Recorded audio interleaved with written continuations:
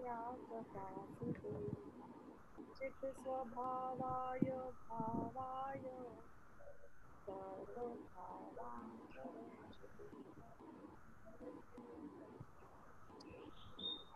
Our topic today is the essence of Samesar. Actually, the essence of Samesar is not only the essence of Samesar, but it is the essence of the entire Jainism. It is the essence of the total sermons which Bhagwan Mahavira delivered in his Divyadhwani. This is the essence of all the big text and the granthas that you see of Jainism. It is, in fact, even the essence of our own life. Only if we achieve this, actually, our life will be successful. Um, Acharya Amrit Chandra has written the commentary of Samaysar. In his words, he calls it that idam, this is the akshay chakshu of the jagat, which means the perspective that Samaysar gives us to look at things actually is completely unique by itself. And also it says that if I were to ask you a question, that uh, come, uh, you know, I will make you immortal. Would you come to us? Very happily. You will say, what do I need to eat? Or what do I need to drink to be immortal? And then if you are told that you just have to listen and understand, it's the gyan, it's the knowledge which will make you immortal. How enticing is this particular proposal to you? Amazing, isn't it? Only if I start looking from this perspective, I become immortal. Isn't it amazing?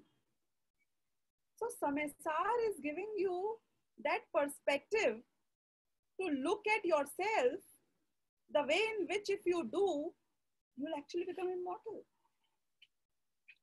So this is what they are saying that idam ekam jagat chakshu akshayam. It will give you a, a perspective which will make you actually immortal.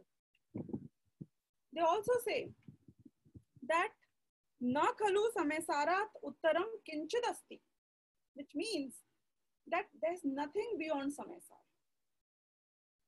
The entire essence of why we are unhappy here and how we become happy and what is it that you really need to know to be happy, that most critical part is explained in samaysar. So this will not be exaggeration if I were to tell you that in this entire life, if you had one wish that you want to, you know, come true for yourself, it should be reading this granth and understanding what it is trying to explain. Madam, madam, sorry to disturb you. You just put the mic with near to your uh, mouth. People are getting very low. Okay, let me just put the headphone also. One second.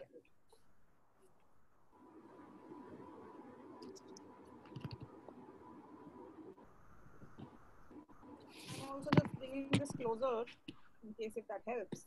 I'm getting the headphone. Sorry. The voice is not clear, not very loud enough.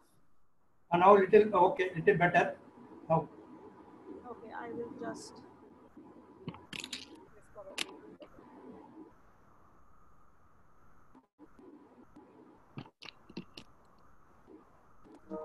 How do you hear me now? ah, now okay, ma'am. Now better. Great, sure. Good, good. Okay. So as I was saying,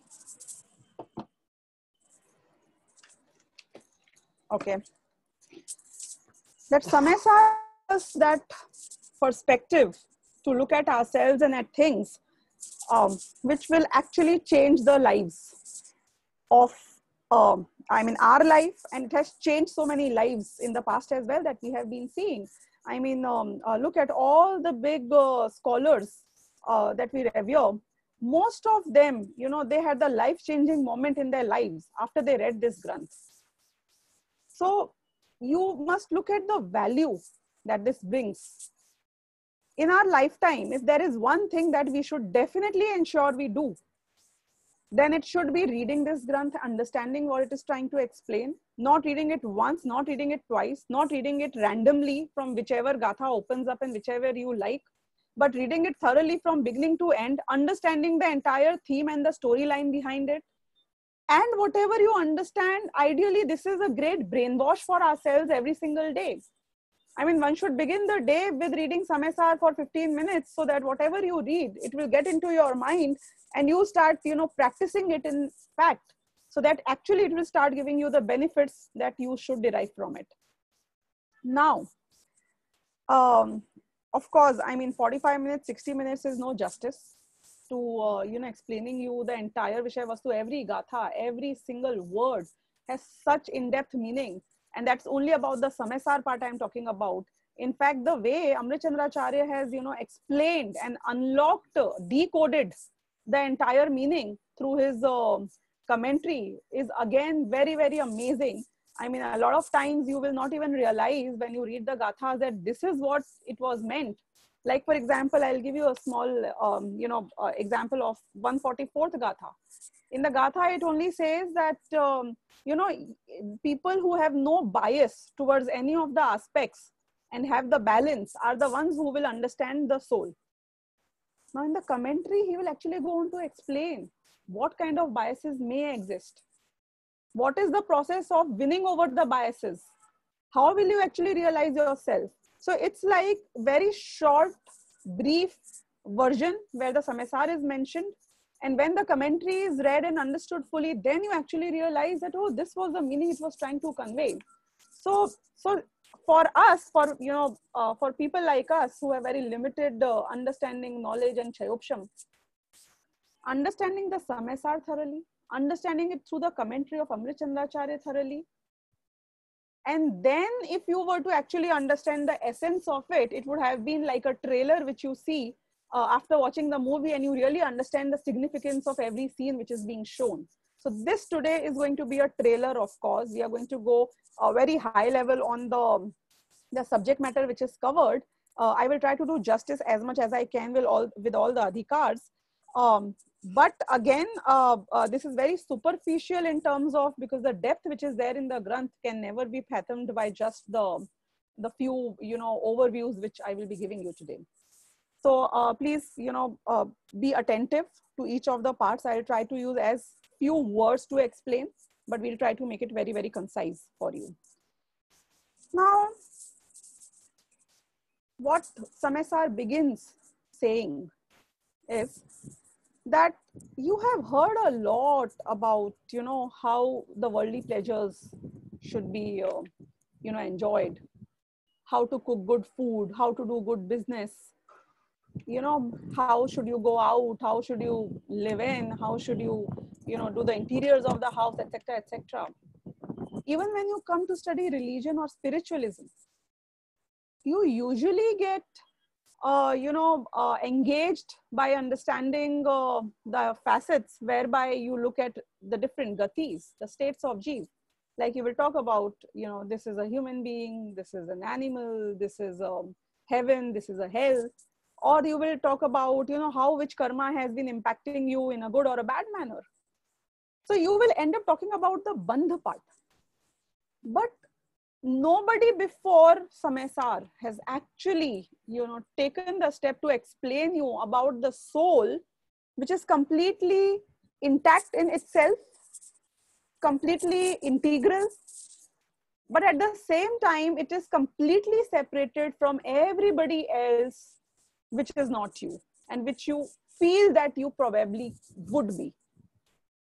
So the word that he has used is ekatva and vibhakta. So we will understand the ekatva and vibhakta Bhagwan Atma, that soul, which is our own God, our own Lord, our almighty soul. Why? Because I will derive the happiness through myself, through this soul, through understanding of this soul. This soul, which is not fragmented, which is not split into parts, which is complete in itself for everything that it needs to do.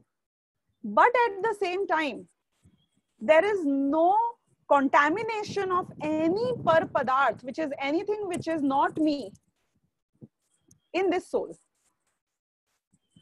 not even the contamination of the karmas, not even the contamination of the body, and not even the contamination of your own passions, of your own attachments, not of your own delusions. Even all of these are kept apart from the existence of the soul here because that is not what you really are. Your weaknesses are not what you are, your strengths are what you are. Now, uh, you know, before I begin explaining beyond this, let's even talk about the authenticity of what we are talking about. See, with a Chinese whisper, there is a very high probability that you know uh, one person understands something and explains something, another person understands that and explains that to the third person. It may get diluted over the period. But the beauty here with Samaysar is, I am you're not talking to me right now. I am not explaining you what I feel is right or wrong directly what our Keval Gyani saw in his Keval Gyan. Directly when it was structured by the Gandhar Dev, who also, you know, experienced it in every 40, within every 48 minutes, there was a Shuddhopyog which was happening, which was he was himself experiencing this particular facts that he's going to talk about, a structure. And the same facts for the first time when they were put into written forms by Acharya Kundakund about 2000 years back, you are directly talking to Acharya Kundakund when you read his words. You're directly talking to Acharya Amrit Chandra, thousand years back when you read his words. Why did we learn Sanskrit? Why did we learn Prakrit? Not because there were no translations uh, available and we had to read the original text out of curiosity, but because I want to directly understand his tone, his language, what he's trying to say, what he's trying to explain. So this content is intact exactly the content, even if you were today sitting in a Samav Sharan, even if you were sitting and listening to Bhagwan Mahavir today, this will be the essence that you will be hearing about what you need to know in this life. If one of us, you know, were told that you're going to die in next two hours, this life is coming to an end. What you should do for the next two hours, I will say read Samaysar. That is the heights we are talking about here. Of course, if you're reading it for the very first time, you will not understand anything. Hence, it is very, very critical that you understand the entire content so specifically and well in the last two hours. If you really want to, you know, go through the entire subject matter in your mind, you really have the content ready with you. So this is the importance. I think I have no further words to explain how important and critical this is to understand. Now, he said you have heard about all of the other things in the world, but you have never heard and understood this content which I am going to explain here. So now he begins saying that there are two ways in which we talk and understand in the world. One is a formal one and one is the actual one. So the formal one is called Vyavhar. The actual one is called Nishchay. So Vyavhar is also not lies. It is not false but vyavhar which means the formalities they they are done because they achieve their particular motive that they are supposed to achieve for example if you were to invite me um, you know uh, maybe your, your your child or you yourself are getting married and you say Swanubhuti would like you to come for the marriage i said oh surely definitely i would have loved to come and i'll try my best now, you told me I have to come for the wedding of your child or maybe yourself. You did not specify the date. You did not specify the place. You did not tell me how I have to come, where I have to come. I understand it's a formality. And I told you I will definitely, I would have loved to come and I will definitely try to come, but it seems difficult at the moment, but let's see if I can make it. So even I have, you know, given you a formal word. You have understood very well and, and the, the chapter closes there. Is this required? Yes, it is required. It's the courtesy that we are showing, but it's a formality. It achieved the purpose it was supposed to achieve. So similarly, a lot of things would be, you know, stated in the same scriptures from the Vyavhar perspective, which is the formal perspective. Like they will say, you must not kill any jeev. Otherwise, it is called hinsa, violence. Now, if you were to talk about the actual fact, actually nobody can be killed. How can you kill a jeev? The existence of a jeev is since eternity till eternity. How can you kill something which is eternal? Can you kill the sun? Can you kill the moon? Those are eternal things, isn't it? How can a jeev be killed when it is eternal? Even science says that only things change their form. Nothing ceases to be. The energy changes its forms, the particles changes their forms, everything changes their forms. But nothing new is ever born and nothing gets destructed completely.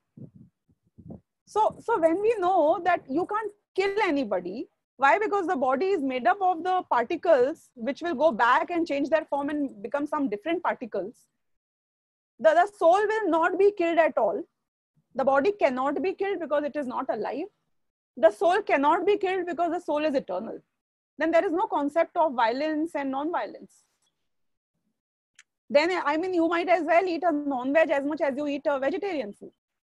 You might as well go and kill the insects as much as you may just rub the ash in your hand.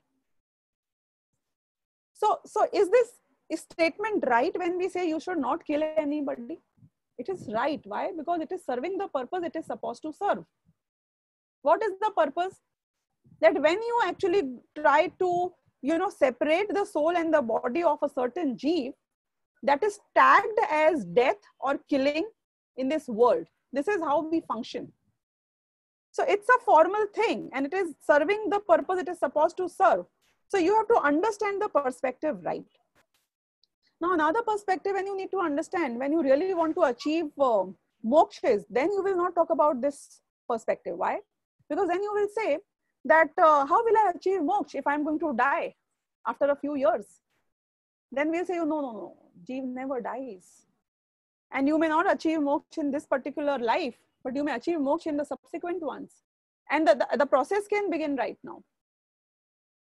Then you will say that my memory gets completely erased from one life to another life. But then we will say, no, if the Samyak Darshan is of a permanent kind, which is called Kshayik Samyak Darshan, don't worry, you will carry forward that Samyak Darshan also in the next life. Even Chayopsham Samyak Darshan gets carried forward in the next life. So don't worry your sanskar, the learnings, whatever has, you know, hit you deep within, that will get carried forward.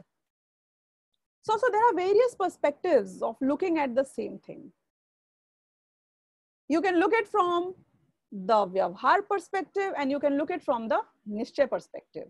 So in the entire initial phase of the Purvarang, Acharya Kundakund established the fact that this is a Nishchay Granth. I will show you the aspect which nobody has shown you so far, which is the Nishchay, which is the actual.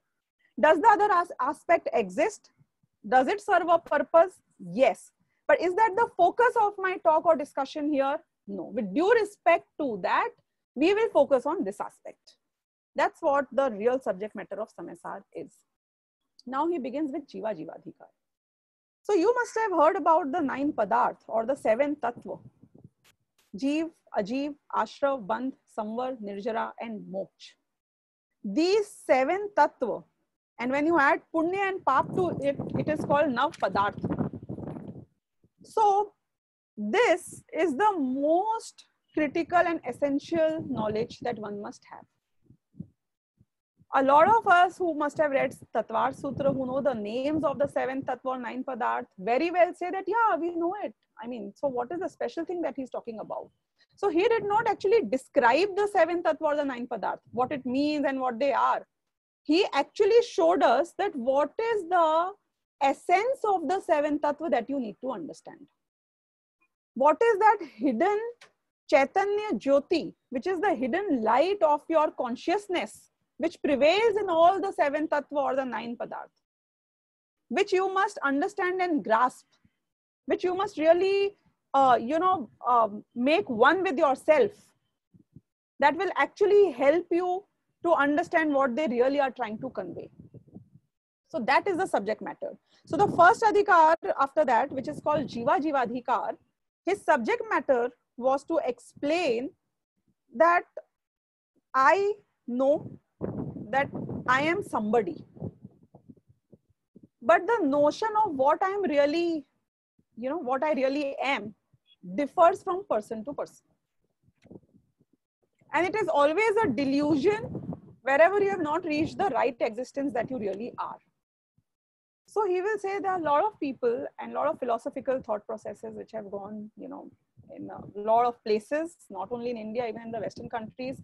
People have been pondering about what you are and where you have come from, where you are deemed to go. Is there a purpose to life? If that is, what is that purpose? So these all questions were answered by introspection, and whatever people thought is the right thing is what they started feeling that is the right thing. Certain things intrinsically we are born with. Like, for example, as soon as a baby is born, the oneness with the body is already there. The body feels one, uh, the, the soul feels one with the body. Even in case of a baby who's just born, even in the case of the baby who's still in the womb, even in the case of a tree or an insect or a, a ant or a you know animal, anybody for that matter. Lowest of the you know forms of life that you would see with only one indriya or two indriya or three indriya even the moment you know they are born their gyan flows through their indriya you need eyes to see. You need skin to feel. You need ears to hear. So this delusion seeps in very deep that this body is me. So this is the most common delusion that all of us have which is that we feel one with the body. Some people who would go a little bit you know notch above would probably talk about no no no i have attachments and you know uh, detachments or delusions or aversions or uh, you know i have different kind of you know bhav. And there is various kinds of you know fluctuations in those uh, sentiments. So maybe i'm that. I have the feeling of happiness or sorrow. Maybe i'm that. So there are 29 ways where a person may get you know, deluded, which is explained in the Jiva Jivadhikar, actually there are not only 29 ways. These can be innumerable ways, as many ways in which you can get deluded. But they have broadly categorized the 29 ways here and they have tried to explain that into two broad categories, which they will call as Varnadi and Ragadi. Varnadi is everything that is made up of Pudgal, everything that is made up of matter, everything that can be seen, that can be touched, that can be heard, tasted. So all of these, which are made up of matter, is one part which is called Varnadi. And the other part which is made up of the weaknesses of the soul, like the attachments, the aversions, the delusions, all of this, the, the feelings of happiness and sorrow, all of this this is categorized as they are not built up of matter. It's not material thing. It is your own dispositions. But these dispositions are not what you're supposed to be. Because they are very uh, you know uh, they, they keep changing. You are not what changes you are what is constant. You these are weaknesses. These can be destroyed and still you will live. There will be no attachment and still you will be there in your full force which means you were not the attachment. You are something beyond that. So in jiva jivadhikar they will establish you know where all you feel you are one with and what you are actually not so this is what they will explain there then after having explained that what they will say is there are two ways in which you attach yourself with others in the jiva jivadhikar the one way is you feel you have ekatva buddhi. So there are four kinds of buddhi that they are going to talk about in Jiva Jivadhikar. The first two that they are speaking about is having ekatva buddhi. Ekatva buddhi means feeling one with whatever you are not. So you feel one with the body, you feel one with the karma, you feel uh, one with the uh, the the dispositions, you feel one with the attachments, aversions, you feel one with the passions, whatever it is. So this feeling of oneness with something which you are not is called ekatva buddhi. The feeling of owning something that you are not, which is not yours, that is called mamatva buddhi. So for example, if I were to say, do you think you and your uh, uh, child is one? No, no, no, we have separate, uh, you know, existence. Of course, I can understand we are two different entities. But is he yours? Of course, he is my child. Of course, you yourself said, you're talking about my child. So he's my child, my, my, my. What is this my? My is mamatva buddhi. So if we were to tell you that this body is not you, what would you say? Okay, maybe because, you know, uh, Arhanta, you know, Lord Mahavira is saying that body is not me, I will accept that. But you will say the body is mine. Because I can see it, I feel it. I mean, how can you say this body is not mine? So a lot of times what happens is, you know, people like us who would say, Gandhiji was right, you know. Gandhi was right on a lot of things, but, and then the entire story begins here. But I don't think if somebody slaps you on one cheek, I don't think you should show your another cheek forward. So this but actually makes all the difference.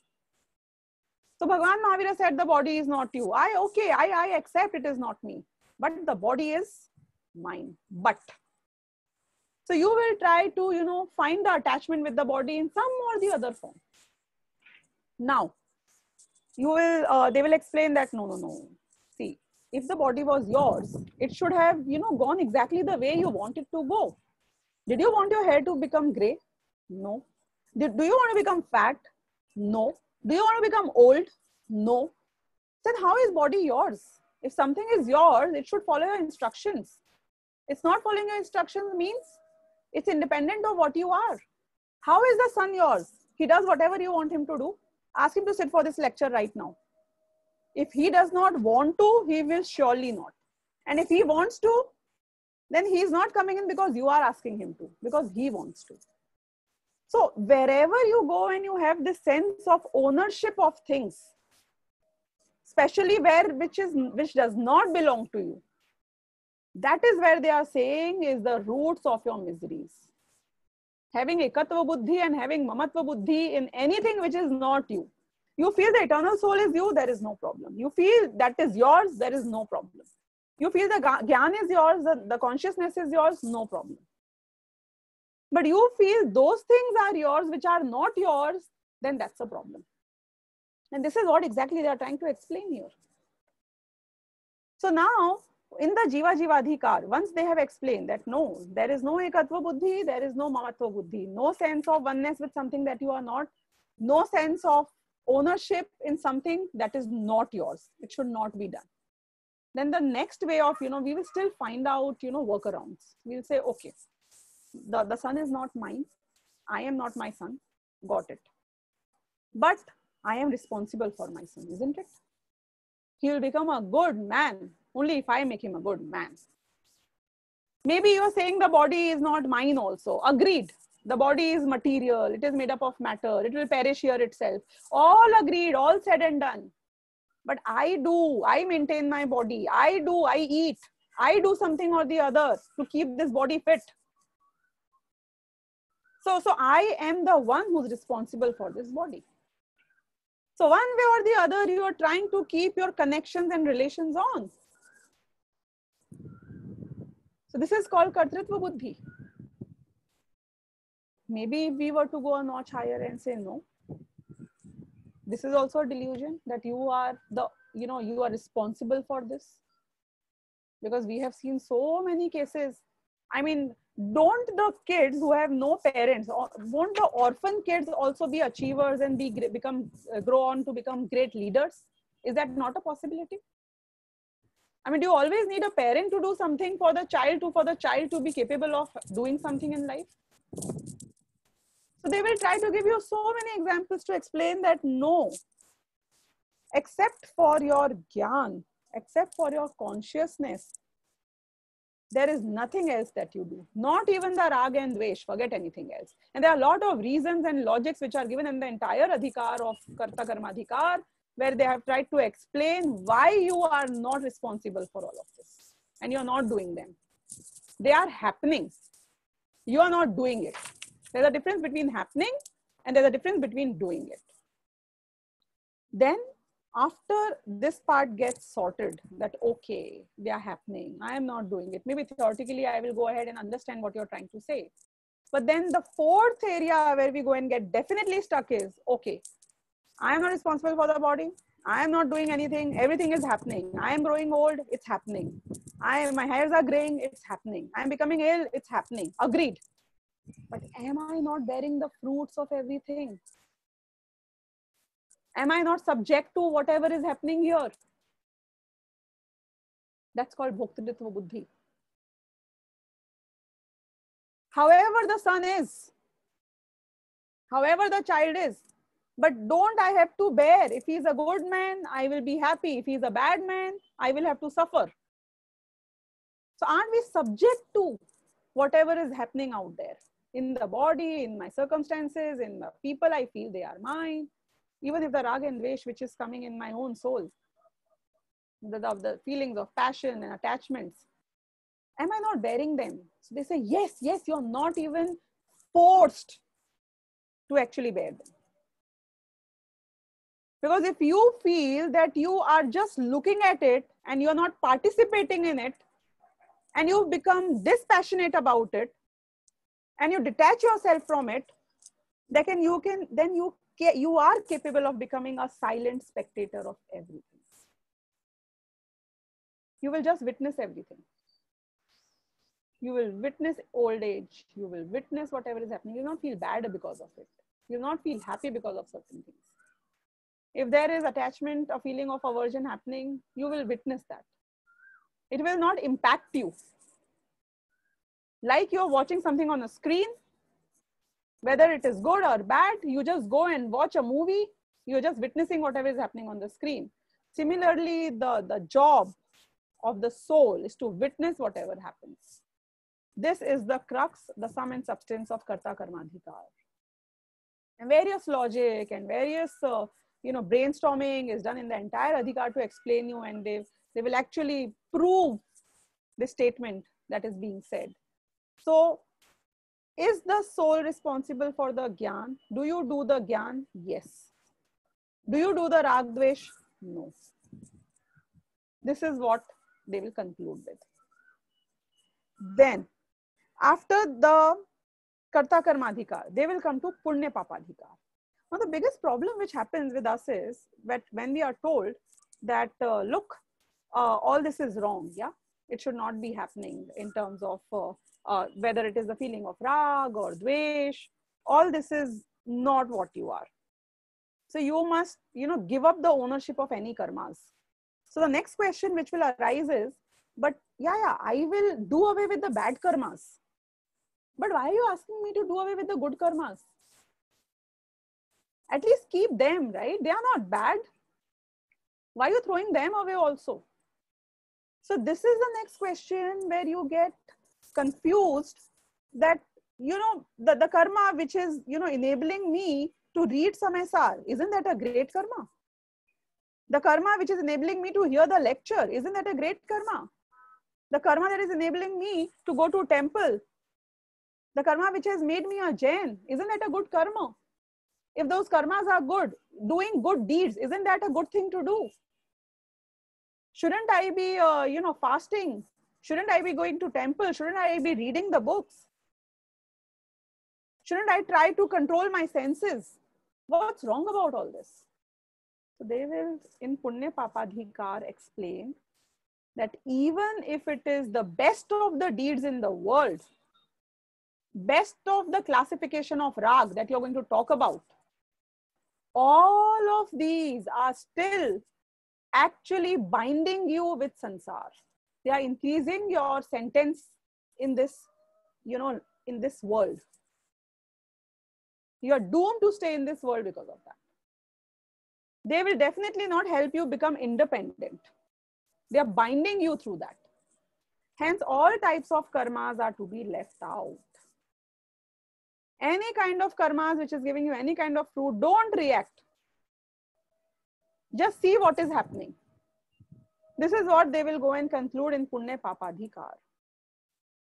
Now, after they have explained this in Punya Papadhikar, then the subject will be that uh, we'll come to Ashravadhikar. So the next subject would be, uh, seems the charger le laptop एक बार ये खोल के देखना यहाँ से लंबा है wire the next topic is Ashravadhikar. Now in Ashravadhikar, they will explain that once um, you know you are Gyani, you are Gyani means you have experienced your own existence in the way it is supposed to be experienced. Once you have reached that stage, you stop binding Ananta Sansar, which means your lifetime in this Sansar is not going to be infinite. You have limited the, du- the future duration of your existence in this Sansar. What this really means it that we currently, you know what is Sansar, I hope, which is in this world, you know, in the four gatis, all the dvesh that we have, this is our sansar. All the movement in the four gatis is also in a way called our sansar. So they will explain here that once you are an enlightened soul, because you have stopped, you know, binding your, you know, yourself to ananta future, to, to in infinite number of years in the future in this own, this sansar itself, hence, one second हो गया। हो गया। Charging नहीं हो रही है, पर वो ऑन करो दबा के हाँ। हो गई हो गई, फिर चली गई। ओके होती है और चली जाती है। थोड़ा टाइट कर दो उसको। या तो वो वहाँ से निकाल के यहाँ लगा दो। देखो कुछ करना पड़ेगा ये, क्योंकि फाइव परसेंट है। Okay so in the आश्रवाधिकार because now you are not getting bound with the Anant future और the infinite number you know future in this संसार they are so very short now and since it is too short that you are going to stay here it might as well say that now you have no ashrav happening at all. There is no ashrav and there is no bandh happening for an enlightened soul. Whatever he does, in whatever fashion he does, I mean, even if an enlightened soul may seem to be, uh, you know, eating food or maybe listening to music, but still he is not getting bound by any of these because internally he understands that these are not what his nature is. So there is a heya buddhi, which means he understands these should also be gotten rid of as soon as he can. So this is something like, for example, um, you know, we all know that saturated fat is not good for health, right? So oil should not be consumed. Now, um, if uh, still you have certain weaknesses for fried food, you can't live without fried food completely. So what you will do is that while you may still be eating the fried food, but uh, there is a limitation to how much you will consume.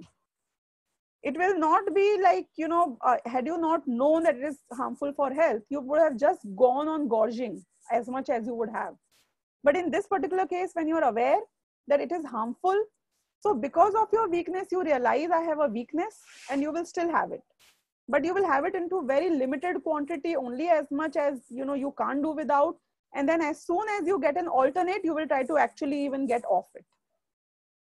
So enlightened souls do understand that whatever householder position they are in, whatever good or bad deeds they are doing, whatever uh, kind of uh, attachments or aversions they have, all of these are because of the weaknesses and they should not be done.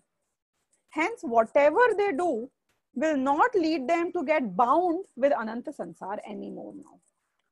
See, it's a very big thing because we are getting bound with Ananta Sansar. What it really means is that, for example, if we were not to understand ourselves in this life, okay, we did not realize ourselves, and we were to die, there are only four probabilities that you would, you know, go to.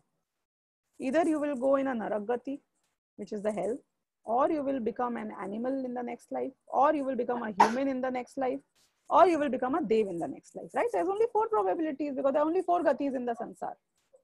Now, 25% ratio probability of, you know, going in each or either of these.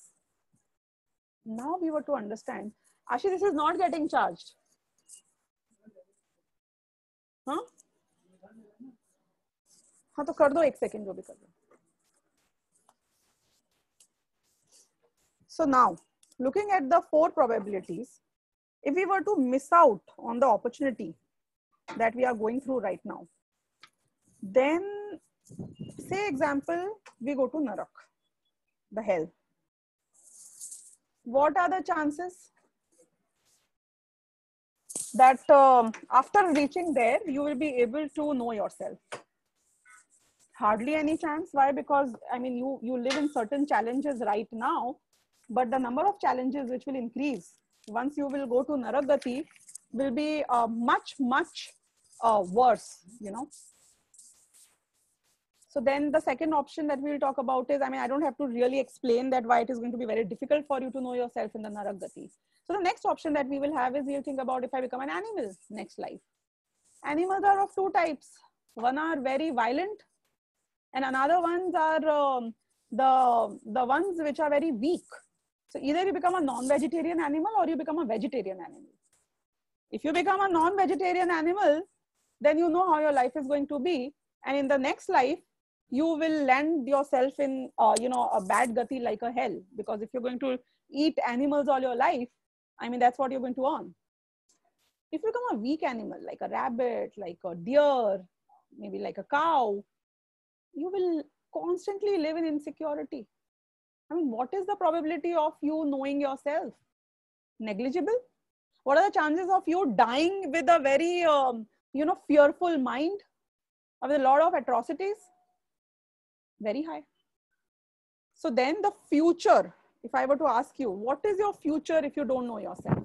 The future is really bad. Because if you go to Narak, we know it's going to be bad if you're going to go into, uh, you know, become an animal or an insect, any Tiryanch Gati, it's going to be bad. I don't have to explain why.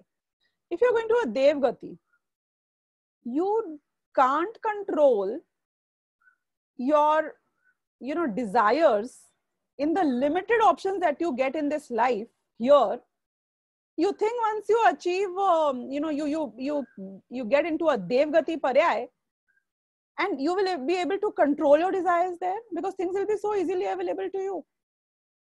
So many things will be available to you. You'll just jump onto them. So the probability of you going to devgati and you want to realize yourself is again very less because the distractions are too many there and in devgati if you miss out the chance you're definitely going to again one indriya after that so again no other options now, some of you may say, no, next, uh, you know, life, I will get a human life again. Then I will do it. Then what's the difference? It will be same as now. Why do you even want to, you know, defer and wait for next life? Wherein the probability of becoming a human being in your next life is only 25%. So ideally speaking, if you miss the opportunity today, then your life in the sansar I mean, your probability of going to moksha becomes zero. And your life and your bondage of the sansar is infinite now. And for if you have an infinite life in the sansar itself, then it means that you have missed the opportunity once and for all. Compared to this, the enlightened souls, their future lives in the sansar are numbered. They're very, very limited. Because they have guaranteed reserved you know their position to go beyond this sansar to moksha in very soon. I mean it can be next life it can be 2 3 lives it can be 8 10 20 lives but it will be very very finite number. It's not infinite anymore. Hence they say in the ashravadhikar that enlightened souls have no ashrav they have no bandh also they're always free this is what they explain in the Ashravadhikar. Then we will go on to Samvar Adhikar. Samvar Adhikar is the Adhikar to explain how Bhed Vigyan should be done. Now, what is Bheda Vigyan? The science of separation of the soul from everything that it is not. That is called Bheda Vigyan, the science of separation. Now, this, this science, where you will distinguish yourself from everything that you are not, how this is should, this is achieved how this should be achieved why it is so important to achieve is what is explained in samvar samvar adhikar because they will say you have understood you know uh, how uh, you know ashrav is the real cause of your sansar and once you are enlightened that is what you need to do so how do you get enlightened is through bhed vigyan and how that bhed vigyan should be done is explained here in the samvar adhikar it's a beautiful adhikar. It must be read. Originally, we have not so much of time left on us. Uh, but what needs to be understood is that uh, uh, this short adhikar, you know, explains you the importance of and the process of Bhed Vigyan. Then, once this Bhed Vigyan happens, once you have realized yourself, continuation in the aspect of consciousness, being conscious about your consciousness, and retaining that phase is how nirjara will happen. That is the real moksha they will give two examples here to explain how enlightened soul is always doing nirjara. Irrespective of uh, you know what he is doing even if he's enjoying worldly pleasures he's still doing nirjara that's what they will explain here and they will give you two examples they will say like for example um, uh, they will they will call out two things primarily here. One is they will say he has the power of gyan and vairagya. Now, the what is power of gyan? Power of gyan is the right knowledge. And what is vairagya? Vairagya is the power of detachment. So, with the power of right knowledge and the power of detachment, he can sail over any tide. Nothing can impact him. Nothing will bind him. Nothing can go wrong for him. So how does this work? So then he's giving here two examples, one for the gyan and one for the vairagya, one for the right knowledge and one for the detachment. So the right knowledge, he says like a doctor. And here he is talking about a vaidya, which is like a, a, a vish a doctor who knows the poisons and the medicines. Now, if he understands the poisons and the medicines and their qualities very well, even if he consumes poison, it will not kill him. Because he has the antidote. He has the knowledge. He has the right knowledge of what is poisonous, how much it is poisonous, in what fashion it is poisonous, how it can be avoided, how can the poisonous part, uh, part be overridden. So, since he has the antidote for it, every medicine is a poison in a way. And every poison is a medicine in a way. And since he has the right knowledge he will not die because of poison. So this is the power of knowledge. This is the power of knowing right things. And this is exactly what a jnani knows while he may be you know a chakravarti while he may go to win the entire world he knows that you know pleasure is not which is in the worldly pleasures. Pleasure is within.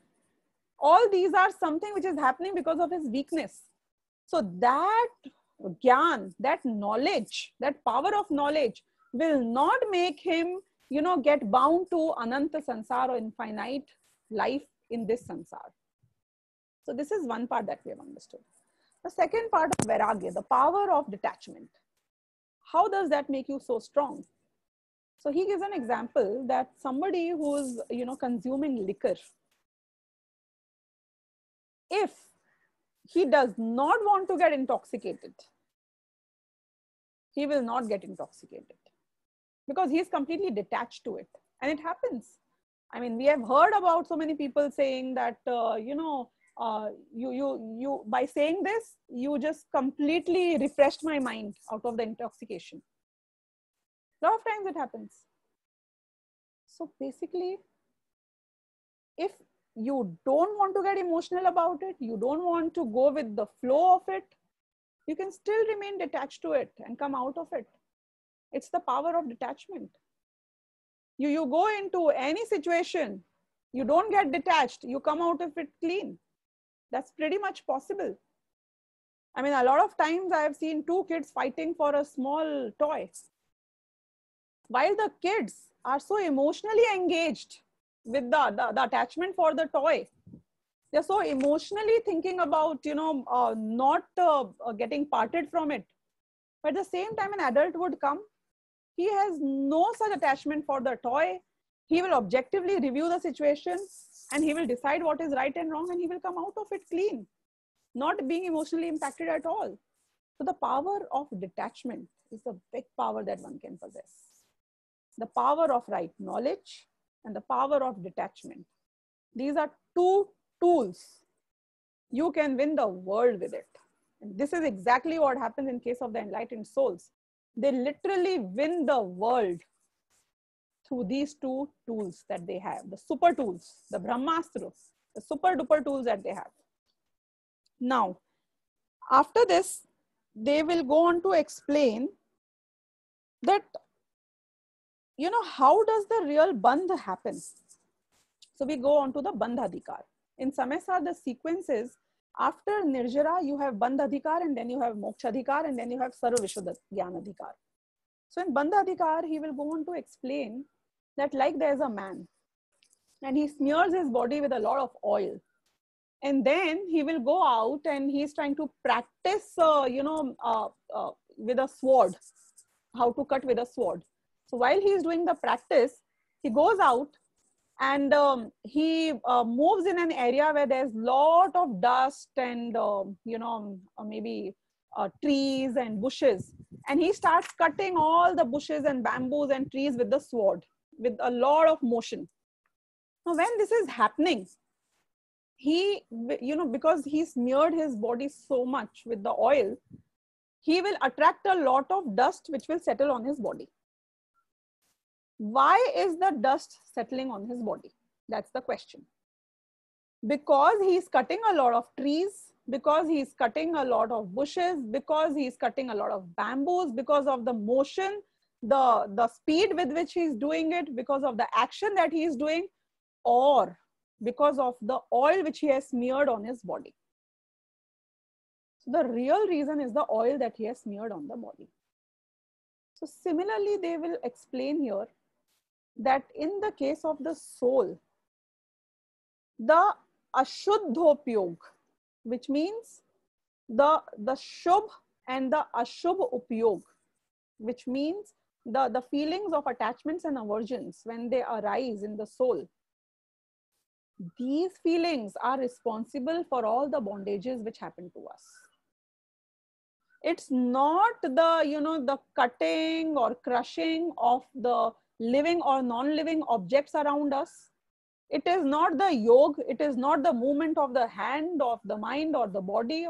That's not what is responsible for the bondage it's the smearing of the oil it is the the the, the you can say um, uh, the oiliness of the attachment and aversion, which is actually attracting all the dust on you.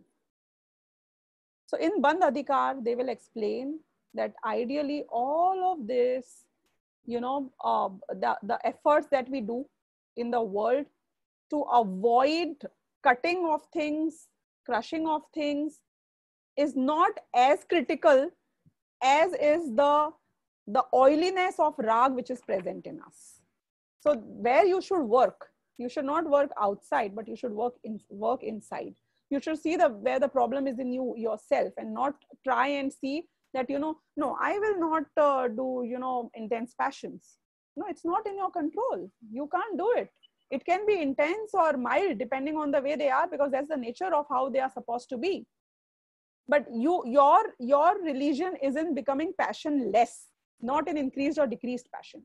You focus only on the intensity. We are saying we have to work on getting rid of it completely. That's the core here that they are trying to explain. Then, um, of course, they will explain a lot of facts after this that, you know, uh, some people may feel that, you know, I am being killed or, uh, you know, I can kill somebody or I can make others happy or somebody may make me happy so all this you know is not actually um, uh, not that you know one person can do something to another person good or bad it is ideally all a misconception because what I do is what I have sowed, is what I reap. What I reap is what I had sown. And what they what is happening in others' life is what they had sown, and that is what they are reaping right, right now. So we all work in our own silos. We feel that we are responsible for each other, which we are not. This is what they explain here. Then after this, they will go on to the moksha part. In the moksha adhikar, they will explain that what really needs to be done is, um, you know, people who are uh, in the sansar, they really live with a lot of insecurity.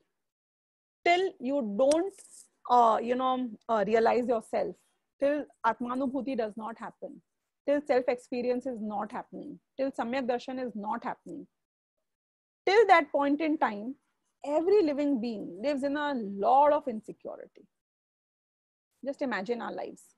How I live is, you know, something suddenly should not happen. Suddenly things should not go bad.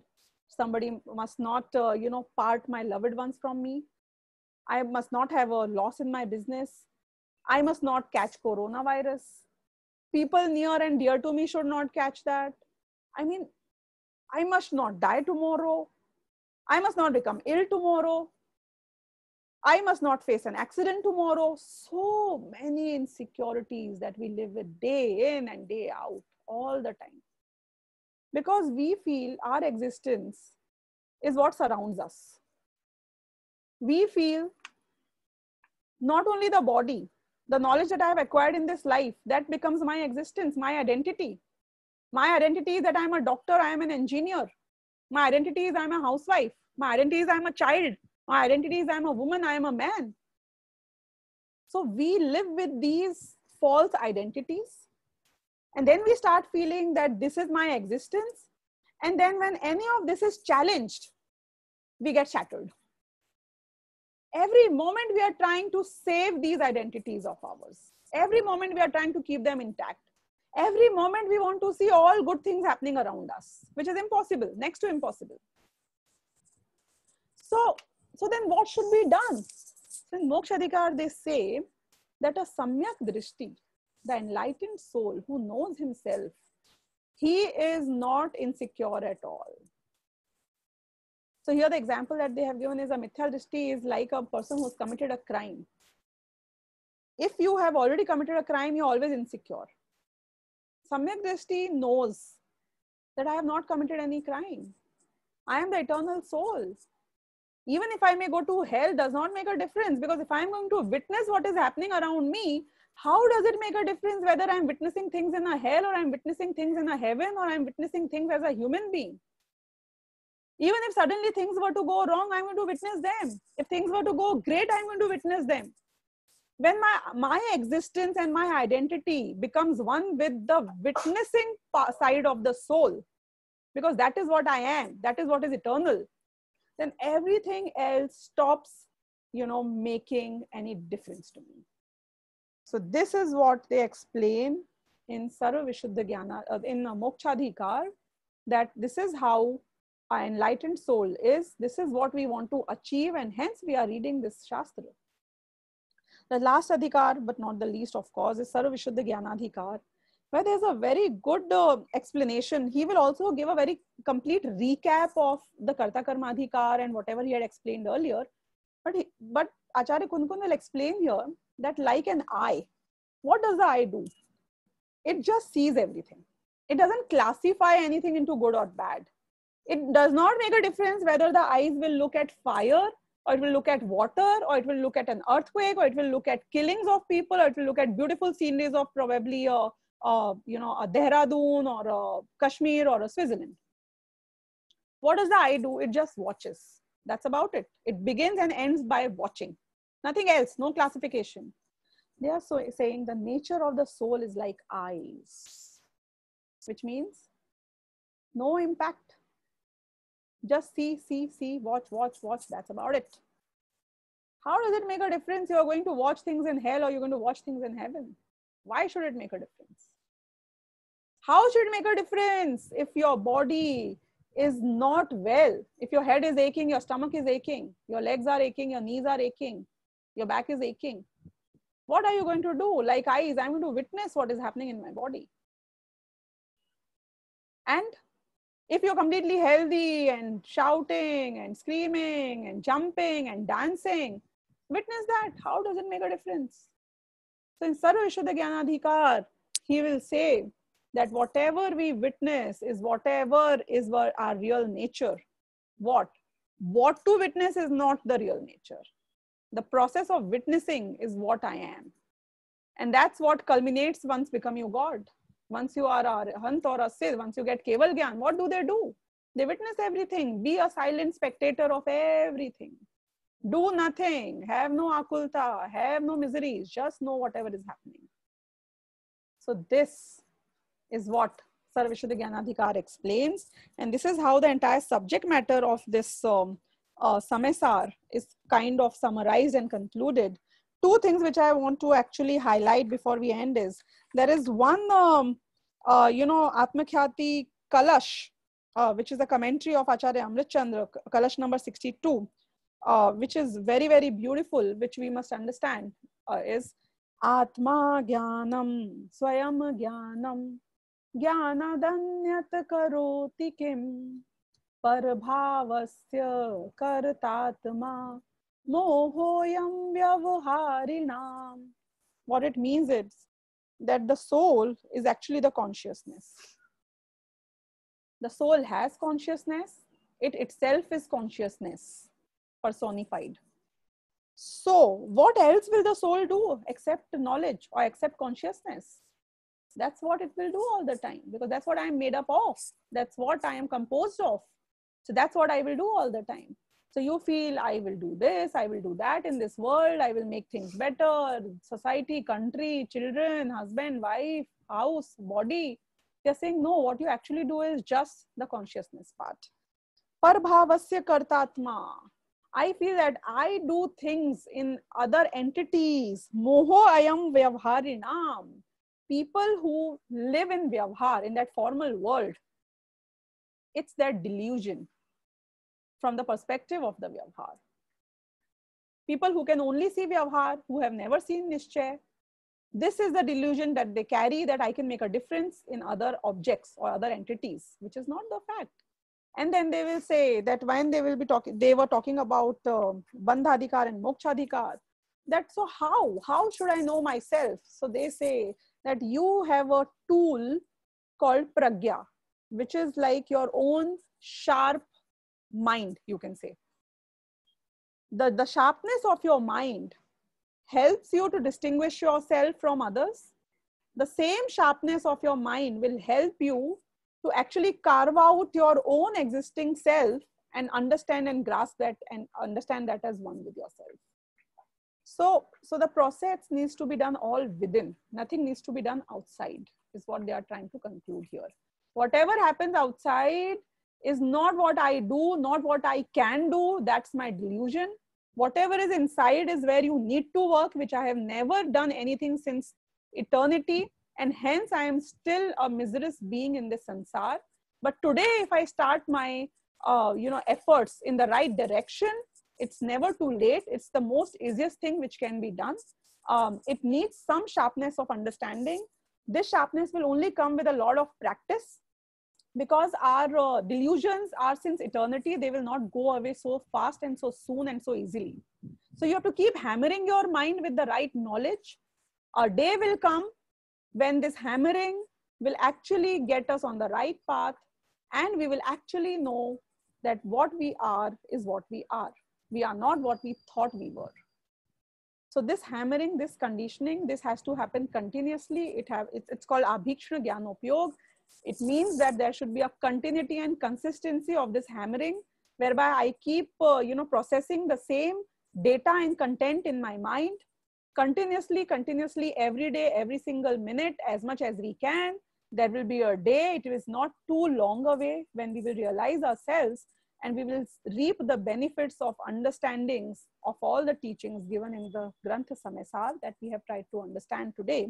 So with this, I will try to conclude um, today's lecture, the essence of some If there are any questions, I would be happy to take them or then we can, you know, uh, logically end this.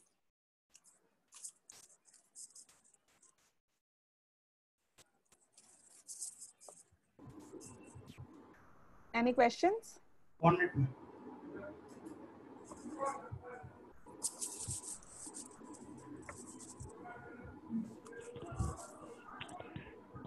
Uh, any any questions?